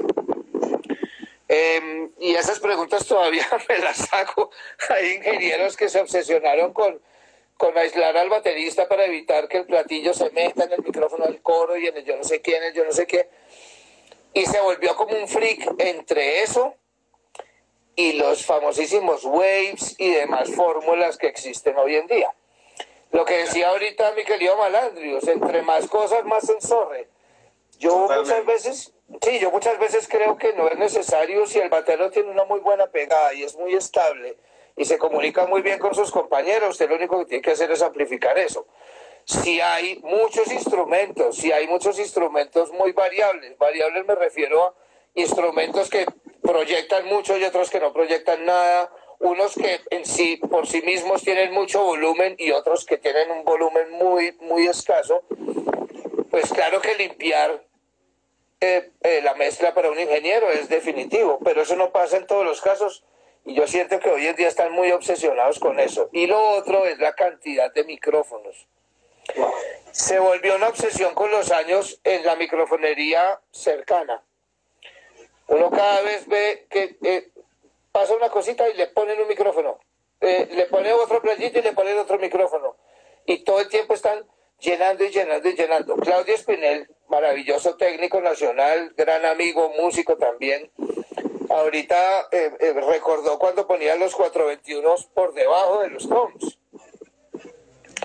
Eh, básicamente, eso es un sonido de caneca. Y uno oye los grandes discos de la historia del hard rock y eran así. Los grandes discos de la historia del reggae y eran así. Eh, las microfonerías, por ejemplo, de John Bonham. Eh, John Bonham básicamente lo que realmente usaba eran sus micrófonos de ambiente en los estudios, los famosísimos rooms. Era el micrófono que realmente más usaba. De hecho, el micrófono de bombo que más usaba era el que le ponía al golpeador, o sea, en el pater, en el parche que uno golpea, ni siquiera en el resonante. Eran, eran bombos sin hueco afuera, o sea, sin compresión. Y, y sonaban, pues son, pues son las bases de todo lo que hacemos. Entonces, lo mismo me pasa con la microfonería. Cuando lo hago yo para mí, arranco con la menor cantidad de micrófonos posible y voy sumando micrófonos. Si el ingeniero me dice, claro, Alejo, Arica está quedándose muy colgado el hi-hat. Ah, listo, microfonimos el hi-hat, pero yo, por ejemplo, no microfoneo el hi-hat. Yo soy neciesísimo con la posición de mis overheads para lograr un sonido de una batería estéreo o monofónica como yo quiera, dependiendo de lo que yo vaya a tocar, o sea, dependiendo de lo que voy a tocar, sé qué tipo de baqueta voy a usar, qué tipo de parche, qué tipo de tambor, y microfoneo en base a eso. En los últimos años salgo con tres micrófonos, máximo cuatro micrófonos, y me funciona increíble. Y ¿Batería de cuántas piezas? A ver, ¿batería de qué configuración para trabajar tres micrófonos? Cualquiera. Cualquiera. La posición es, la posición, es que pareciera mentira. Hay una posición que es infalible y cuando yo la vi la primera vez, vi las figuras, leí, investigué la vaina y yo decía, marica, esto no puede ser, pero ¿cómo puede haber tantos, o sea, tanta gente equivocada por tantos años? Hay que probarla. No lo podía creer, un micrófono detrás de mi hombro derecho. Yo soy baterista derecho. Entonces, claro, tengo mi hi-hat, mi redo, tom 1, mis tom 2, tom 3, crash 1. Yo uso, normalmente uso dos crashes, China, right, hi-hat, a veces uso dos Chinas. Pero mi batería normalmente está muy abierta hacia mi mano derecha porque uso medidas grandes. Entonces uso 14 o 13 al frente, 16, 18 a mi mano derecha. Entonces mi batería se abre mucho a la derecha. Y normalmente uso RAID de 24, Crash de 22 y China de 20. O sea, muy abierto hacia mi mano derecha. Entonces lo primero que yo pensaba es, ese micrófono debería estar lejano a mí para que capture todo esto. No puede estar detrás de mi hombro. Para empezar, yo voy a tapar el micrófono. Pues resulta que la técnica es exactamente esa. El propio baterista eh, el propio baterista corta unas frecuencias que hace que el ingeniero no solo no tenga problemas, sino que oye la batería con una naturalidad que no lo generan los overheads convencionales. Un overhead convencional es esto o es esto, o es el XY, que es básicamente una microfonería cruzada. ¿Y, qué micrófono es ese? ¿Y qué micrófono es ese que colocas encima de tu hombro? Uno de los overheads uno famoso, o, puede servir un, un SM57. Me ha funcionado con 57, con 58, con PG, me ha funcionado con microfonería barata y con microfonería elegantísima. Es infalible, es, es el sonido natural de la batería. O sea, esos micrófonos, claro, es equidistante del centro del redoblante hacia arriba y debe ser equidistante la distancia hacia ese micrófono al que me refiero. Em, uno pone esos dos micrófonos y pone el micrófono del bombo, tal. Y cuando oyes la batería es el sonido más natural del instrumento que yo he oído. En la medida en la que lo empiezas a mover, empieza a salir más el ton de piso, empieza a salir más el crash que tienes cercano al micrófono. Con esos micrófonos hay una ley con la que yo soy muy, muy estricto, que es una cosa en la que uno tiene que tener mucho cuidado. Cuando uno pone un, platillo y pone un micrófono bajito, a ver si soy capaz de hacer esta mala chimba, soy baterista, tengo que ser capaz, pero Si yo tengo un platillo y, esta es la cápsula de mi micrófono, cada vez que yo pongo un micrófono mirando de frente el borde del platillo, lo que va a capturar es el movimiento del platillo. Entonces lo primero que genera es un aire al pasar, como el aleteo de una mariposa, que es una cosa que el ingeniero no sabe que está pasando, pero siente un... Marica, ¿qué está pasando? Cuando un ingeniero... Cuando a mí me llaman por el interno y me dicen, Duque, algo pasa con los platillos, algo pasa con los overheads, tengo un mariposeo ahí que me está enloqueciendo, yo de una pienso en la base, no en el micrófono. ¿Qué pasa? Todos pensemos en las famosísimas Proel. Usted pone un micrófono en una base Proel y la base arranca así y esa mierda empieza a ser así. Yo lo primero que pienso es, se cayó el overhead. Claro, el overhead hace esto, la cápsula queda mirando el borde del platillo y lo que captura es el aleteo del platillo. Y lo otro que captura es es como si le pusieras un, no sé cuál sería el efecto correcto, pero un efecto como medio de flanger, como medio... Claro, porque no es, no, no capturan ni el impacto del platillo ni la resonancia del platillo, sino el vaivén de ese platillo. La oscilación en la onda. exactamente. Entonces yo soy renecio sobre todo con ese tipo de micrófonos que uno sabe que tiene que abrir mucho en la consola, que capturan un, rango muy abierto, yo tengo que ser súper delicado con esa posición. Y eso mismo fue lo que me hizo entender que si esos micrófonos están bien posicionados, va a capturar el ambiente real del instrumento. Si yo lo toco bien, si mi batería está bien afinada, esos micrófonos van a capturar una batería deliciosa y de ahí para adelante pongo lo que el ingeniero necesita, porque yo ya no necesito nada. Es re loco, es, es, lindo. ese tema. la tiene más que clara con todo esto, aquí mucha gente, mira, aquí nos están, mira, aquí nos preguntan, nos dicen que qué, qué consejo le darías a alguien que quiere comenzar en el mundo de los bodies. Mm, esa parte no, a ver, la respuesta podría ser tan fácil como que eh, empelicularse mucho con este tema, quererlo mucho, pero sería una respuesta muy, muy corta y muy escueta. Toca ser berraquito, toca aguantar, no es nada fácil. Es un trabajo duro y es incómodo en el 98% de los casos. Ya con tantos años, yo he tenido el privilegio de, de, trabajar con artistas de mucho nivel en los cuales uno puede tener condiciones muy óptimas de trabajo, pero todos arrancamos con las peores condiciones de trabajo y eso se repite muchas veces a pesar del nivel de los artistas hay muchas veces donde uno necesita dormir y no solo no puede dormir, sino que le toca descargar un camión, sacar las cajas, sacar la batería, darse cuenta que hay que cambiar parches, que hay que limpiarla, que hay que apretar todos los tornillos, o sea, eh, que falta mucho camello y falta la prueba de sonido y falta el concierto y falta desmontar. o sea, hay que tener mucha pasión para aguantar las, las incomodidades del trabajo. Eh, hay que ser consciente de que uno va a salir lleno de cicatrices, no hay opción. Las bases de platillo siempre van a pellizcar así usted lleve tocando 50 años. Esa mierda talla, pellizca, porrea, duele. Eh, cargar el muerto siempre será un horror. Eh, yo, por ejemplo, tengo unas cicatrices muy curiosas de unas lesiones que nunca esperé tener. Pero yo tengo aquí, yo no, estoy muy seguro si se ve, pero de lado a lado tengo una cicatriz y aquí tengo la otra y aquí tengo la otra. Un baterista sin querer me clavó un platillo en la cara.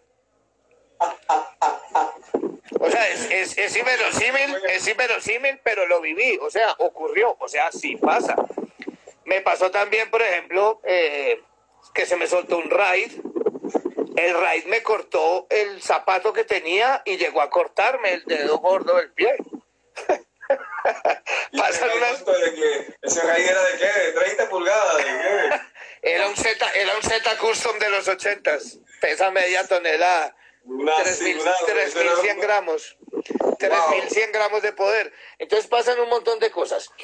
Eh, en cuanto como a, como a lo realmente importante de ser técnico es oír mucha música, mirar con mucho juicio el oficio, mirar, mirar los diferentes tipos de bateristas, mirar las diferentes características. Y cuando me refiero a oír muchas, muchas músicas es porque yo, por ejemplo, tengo la fortuna de, que en muchas ocasiones, por ejemplo, me pasa, varios de los que hay ahí he tenido la fortuna de, atenderlos, como digo yo, porque para mí es como cuando llegan a sentarse en la batería, es como si yo los hubiera invitado a la sala de mi casa. Yo, ¿qué quiere? Un tintico, un juguito, agüita, o sea, es rico, para mí es rico. Pero el mismo día me puede tocar Pablo, a las dos bandas me puede tocar Andrew, a las dos bandas me puedes tocar tú, a las dos bandas me puede tocar Urián Sarmiento y yo en un solo día tener 15 bateristas completamente diferentes. Si yo no tengo claro esas músicas, esas sonoridades, y si yo no estudio a los bateristas, ¿qué es lo que hace que un platillo suene duro, suene lejano, suene pasito? Porque, porque este baterista... Eh, usa hi-hat de 13, crash de 16 y raíz de 20, y este usa hi-hat de 16, crash de 20, raíz de 24, porque el uno usa baquetas 5A punta de nylon y el otro usa baquetas 2B punta de madera. Si yo no soy juicioso con esos detalles, no voy a poder atender bien a ninguno y mi trabajo no va a ser tan chévere. Es un, proceso de, es un proceso de empirismo que te exige mucha investigación. La investigación, es, la investigación es constante, es total y nunca se va a terminar, nunca. Porque es la única manera como uno aprende, aprende a entender la morfología del instrumento y a sacarle provecho. Es conociendo a los bateristas. Y conocer a los bateristas es conocer de música. Entonces yo, por ejemplo, aprovecho el vallenato, el baterista de champeta, el baterista de metal, el baterista de folclore, el percusionista de samba, el percusionista brasilero, todo me lo devoro con locura. Entonces, por ejemplo, ahora que estaba Tato Marenco, yo hablé mucho, se habló de Tato, el del Millo y la cosa. Tato es un percusionista, el hijo de puta. Tocar percusión menor para mí es de las cosas más difíciles que hay para hacer. Tocar un triángulo Claro, hay gente que hace la carrera en la universidad para poder aprender a tocar un triángulo y tocar en una sinfónica. Em, y Tato es, es, un percusionista increíble, súper, súper parejo, súper medido, un volumen precioso, muy acertado y de muy buen gusto. Eh, pero cuando Tato, por ejemplo, en ciertos momentos del show se cambia y se sube para la percusión latina, que es la de Darwin, y Darwin baja a hacer vientos porque toca saxofón y clarinete, es otro sonido. ¿Por qué? Porque es otro percusionista y en la misma percusión está afinada igualito, mismos parches, no ha cambiado nada. Pero al cambiar el percusionista es otro sonido, es otra cosa. Entonces yo tuve, yo por ejemplo tuve que lograr con Darwin mediar un poco, no un percusionista. Cuando tú le cambias la medida a un percusionista, literalmente puedes hacer que salga sin dedos, eh, porque se rompen. Pero me tocó mediar un poquito porque Tato Marenco es muchísimo más alto que Darwin. Entonces, cuando llegaba al alegre, había dos opciones: o que Tato tocara con las, con las patas abiertas, en, una en cada lado del escenario para poder llegar a la altura de Darwin. Como para de piano. Como Jerry Lee Lewis, tal cual. Eh, y me tocó mediar un poquito con Darwin porque yo le decía a Darwin, pues yo no le puedo, eh, yo no le puedo subir el tambor a, a, a, Tato y volvérselo a bajar a Darwin porque ninguna de las dos me va a quedar bien hecha o me va a quedar un poquito más abajo, un poquito más arriba. Y Tato toca dos, dos arreglos en dos canciones de un show de dos horas y media. Tatico, marica, te va a tocar aguantar un poco y Darwin, ¿qué tanto me puedes dar para Tato? Porque cambia inmediatamente el sonido. Entonces, eh, esa investigación es constante, pero eso mismo es el disfrute de lo que hacemos. Entonces, yo a esa persona le diría, oír mucha música, ver muchos músicos y siempre viéndolo desde la posibilidad de ser muy feliz. ¿A qué me refiero? si yo estoy muy contento con el trabajo que realicé, con los instrumentos que tengo, con el momento, con estar en un escenario, con el músico, si yo aprendo a disfrutar todo eso, estudiar, investigar y todo eso se vuelve un disfrute. Y la música es un disfrute, entonces realmente ser técnico es muy fácil, pero, pero hay que tener berraquerita. En, en, tu, en, tu, en tu vida nos has hablado de tu comienzo con el metal, con el punk. Ahí te preguntaban que el punk, que con clic o sin clic. Yo particularmente siempre he pensado que complica. Ok. La simplicidad, la simplicidad siempre va a complicar, siempre va a complicar. Eh, porque, entonces, por ejemplo, em, de hecho, experiencia personal, me pasó, tengo una anécdota maravillosa con una persona que, que, quiero mucho y que admiro mucho, y es Mónica, la baterista de Ira. Mónica era la novia de Viola, el cantante, toda la vida. Eh, por muchos movimientos que tuvo la banda, esa es la banda más icónica, dijéramos, del punk nacional, del punk medallo.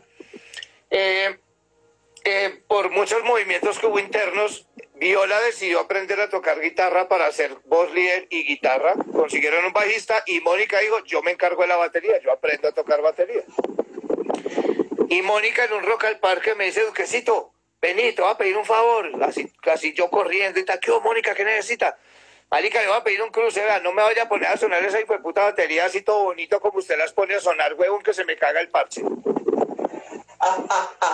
¿Qué me quiere decir Mónica? Bueno, claro, si yo la hubiera afinado súper sofisticado, que entonces esta octava y que la cosa y que tal y tal, llega Mónica con su sonido, con su ponche punqueto de brazo, de codo, esta cosa tiesa en el hi-hat que hace que machaque, que es de lo que se trata el punk. Yo le hubiera cambiado su expresividad completamente y yo, pues mi juega, hubiera interferido en, en la presentación de Ira. Pero me hizo cagar de risa porque el sonido que ella necesitaba era un sonido eh, canecudo, gigante, grande, amplio, eh, rudo, tal. Entonces, ¿cómo afino yo en ese caso? Busco que tenga parches pinstripe para que sean medios bajos, que no haya mucho armónico ni mucha cosa que complique. Los afino muy bajo. Finalmente Mónica no me va a pedir. Ella necesita dos tonos profundos al frente y un tono grande abajo. Me voy, estabilizo los parches de abajo, pongo muy bajo los de arriba y Mónica que de garrote como una loca y sea bien feliz. ¿Cómo sonó? Una chimba sonó de ira. ¿Qué hice yo? Respetar al artista. Entonces... Em, a, eso, a eso te iba a decir ahorita. Tú vienes de ese sonido, de, de tocar el punk rock. Cuando tú llegas a la provincia es otra vaina. O sea, ya viene el folclore, viene la cumbia, ya tenías acercamientos tú con lo, con lo folclórico, con el vallenato, para meterte en ese mundo de eso? Yo creo que la vida entera. Fíjate que cuando, es que yo fui muy afortunado, tengo, tengo que decirlo, cuando yo llegué a Bogotá, ahí por ahí me ha regañado Eduardo Camargo varias veces porque con la barba está raspando el micrófono, pero ya no fui capaz de solucionar ese tema, perdónenme ahí, los ingenieros y los que saben de eso, pero no me voy a afeitar por ni fue puta Em, em, a, ver, vuelvo a lo de la simplicidad. Lo de la simplicidad es porque tocar simple es, es ese, ese em, eh, condensar las emociones, los sentimientos. Y los seres humanos no estamos acostumbrados a eso. Nosotros nos hacemos los locos a los sentimientos, eh, uno o, se hace el duro, o se hace el no sé qué, o los adapta, o los transforma. El punk y, esas, y esos ritmos tan básicos no te permiten hacerte el bobo. Usted tiene que ser sincero con el instrumento y con lo que está tocando. Entonces, eso o suena bacano o no suena. Mientras que con las otras cosas, uno con una figurita y tres splashes y puta y un movimiento de baqueta y tal, usted ya no bola a todo el mundo. En el punk no se puede. Ahí, ahí, es donde está el asunto y como lo hizo el Cat una vez, que lo llevaron a una clínica y duró como 10 minutos con el tu, pa, tu, pa, pero con una precisión y todo el mundo se miraba como que, bueno, ¿y este tipo qué está haciendo aquí? O sea, una drum clinic para verlo haciendo la primera clase ahí. Si usted no es capaz de hacer eso, usted no, usted no sabe tocar batería, güey, no importa cuántos tresillos sepa hacer, ni a cuántos BPM sepa hacer un doble bombo, ni eso no importa. Eso no es tocar batería porque para empezar no hay disfrute. De hecho, todos los enormes, todos los enormes, enormes, grandes bateristas partían de, de, de unas cosas muy simples, pero muy concretas y con los años las llevaban a unos niveles increíbles, era porque se escarbaban por dentro y eran cosas que les brotaban de adentro. Carmina Pish, ese libro, wow. Bueno, Carmina Pish, yo atendí a Carmina Pish cuando vino a Colombia. Me llamaron, yo fui a recibir la batería del man, él todavía no había llegado, recibí la batería de él, fui, puse parches, apreté tuercas, tornillos, la puse a tono, muy bien, llegó el man, estaba muy bien, me fue muy bien con el man. Cuando llegamos a probar sonido, él me dice, ¿usted qué baquetas trajo? Y yo le dije, yo pues tengo aquí las mías y me las saqué del bolsillo así, de la nalga, tú. Dos B punta de madera. Y me dice, no, huevón. No, vaya busquen esa maleta y saque unas baquetas mías porque si no nos va a quedar mal hecho el oficio. Saco yo las baquetas de Carmina Piz. Carmina Piz diseñó sus baquetas. Como nosotros, claro, yo toco con mi derecha al derecho y con mi izquierda al revés, con el culo de la baqueta. Las dos baquetas del man son dos culos gigantes, unas cabezas enormes, con una ranura o sea, es una cosa eh, como fálica, weón. Eh, venía, viene la baqueta convencional, llega una zanja muy profunda y la cabeza es redonda, enorme, weón. Y él me decía, es que, marica, si usted no golpea con mis baquetas, usted nunca va a lograr el poder mío. Yo necesito que usted logre el poder mío porque yo me voy a ir a sentar allá al frente a ver cómo queda sonando la batería. Toque. Oh, puta, me corrió la gota por acá. Y yo dije, marica, este man se va a sentar al frente y soy yo el que le va a sacar el sonido a la batería. Carmina pisa al frente. Lo primero que se me ocurrió es pensar en Phil Root de ACDC.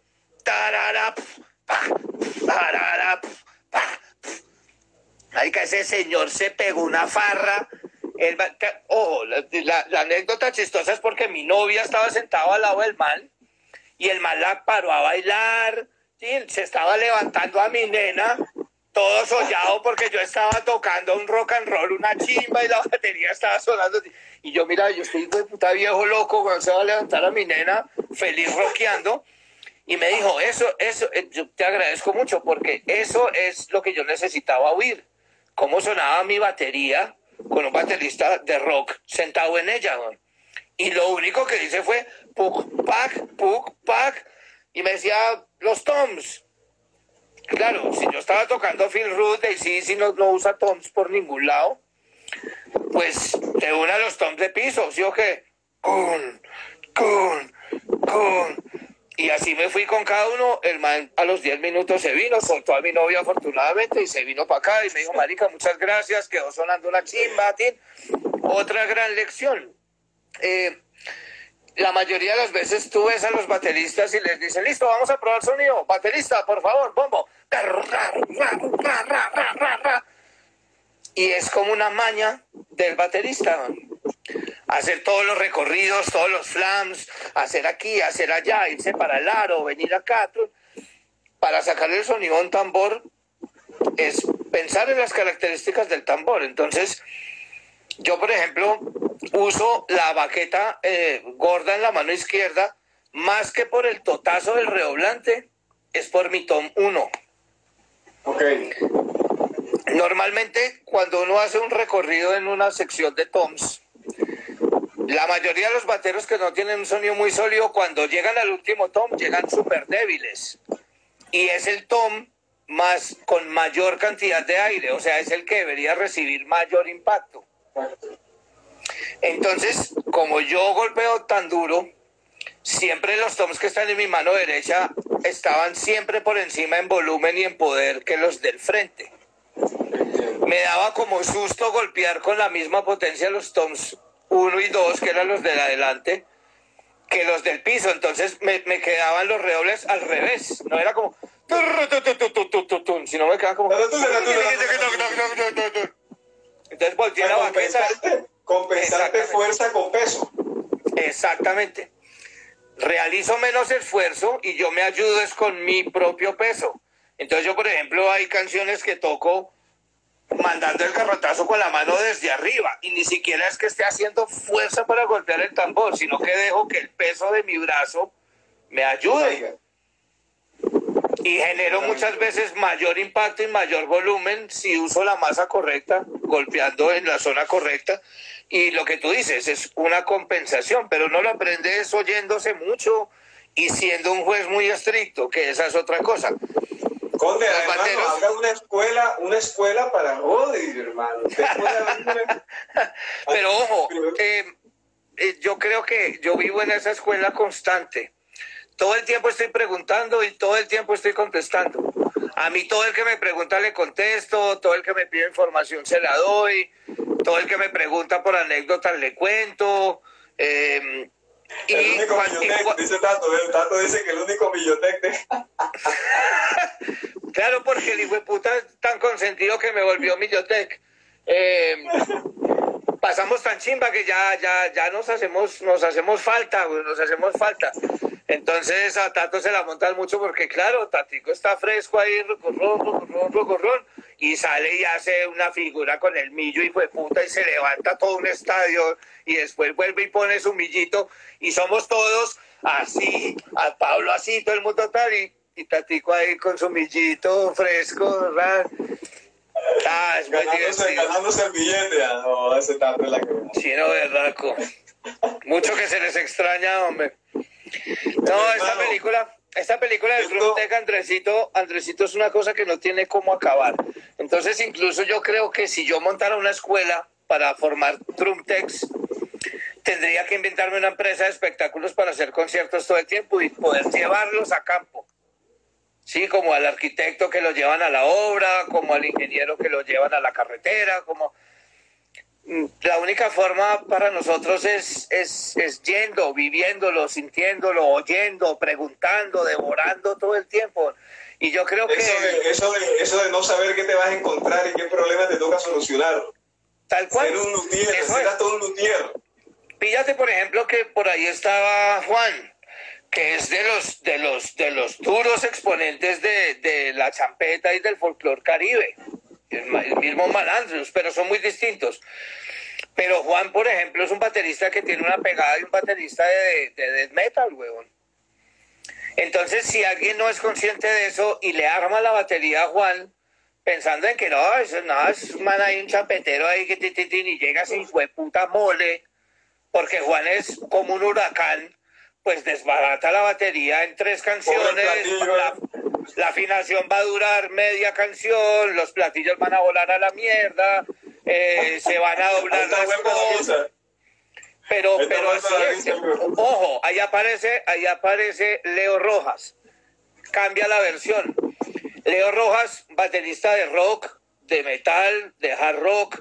Eh, y yo creo que es de los bateristas más estables y con, y con una de las pegadas más, más bonitas al oído que yo he oído en un baterista de música pesada. Es Leo Rojas que por ahí está escribiendo. Ahí está escribiendo. Eh, entonces, claro, yo por ejemplo trato más como si fuera un baterista metalero a Juan que a Leo. Porque son dos bateristas muy distintos. Son un camión de baterista el sonido de los dos es enorme, es muy redondo, muy grueso muy pesado, pero tienen una pegada sumamente diferente. Entonces, si yo, si yo lo viera como, uy, no, llega Leo con una banda de metal, entonces ese es el baterista de metal, y uy, no, llega Juancho, eh, que es el baterista de los chapeteros y tal, y lo trato, toca conocer al baterista, toca oír el sonido, toca conocer el gusto y eso me lleva a mí a investigar más cosas y me ayuda a aprender de música. Conde, ¿tú sabías que cuando Juanes llega a comprar platillos, los platillos se hacen los sordos para que no se los lleve Juanes? Pues yo no, yo, yo la verdad, huevón, si, si yo fuera a sponsorear a Juan, más bien lo hago socio de la marca, huevón. Sí, marico, usted quiere platillos míos, no la chimba. Venga, son seis puta para que usted también le toque los daños con los Mi hermano. Pero, pero ojo, Juancho, pero ojo, Juancho, por ejemplo, nunca ha crecido las medidas de sus platillos. Porque él necesita una respuesta muy rápida en sus platillos por la música que él toca. Entonces, haría mal cualquiera en decirle, marica, toca pasito, huevón. Porque es que no, no empujaría el aire que empuja.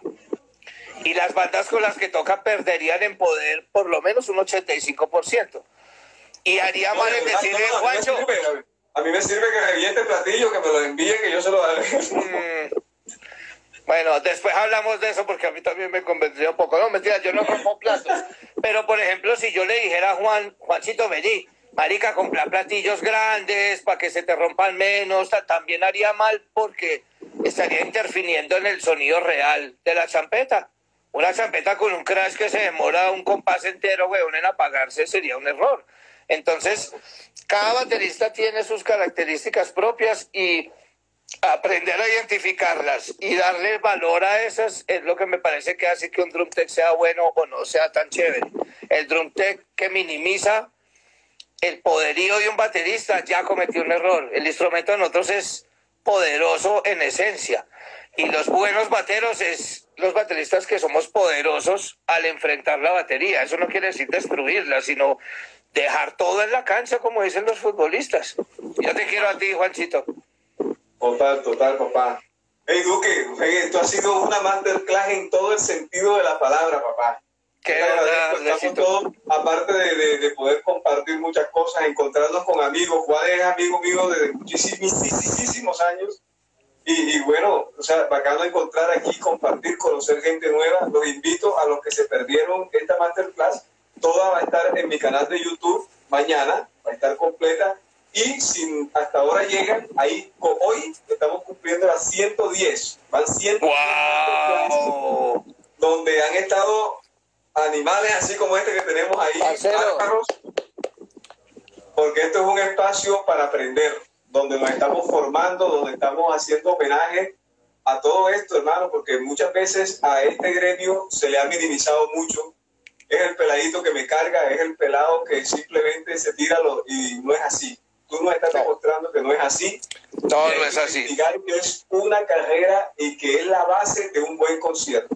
O sea, es la base de un cemento. Y no creas, es, es, es, es un apoyo extra para el músico. Los bateristas normalmente, yo creo que todos estarán de acuerdo conmigo, hay momentos en los que uno sí se siente un poco solo. Es un instrumento muy poderoso del cual todo el mundo abusa, todo el mundo siempre te está pidiendo, hey, hazme este ritmo, hey, tocame esto más rápido, hey, Nadie se le ocurre que uno está mamado, que es un instrumento que exige mucho físicamente, mucha concentración, que tiene una cantidad enorme de elementos y de sonoridades y de tal, y todo es muy físico.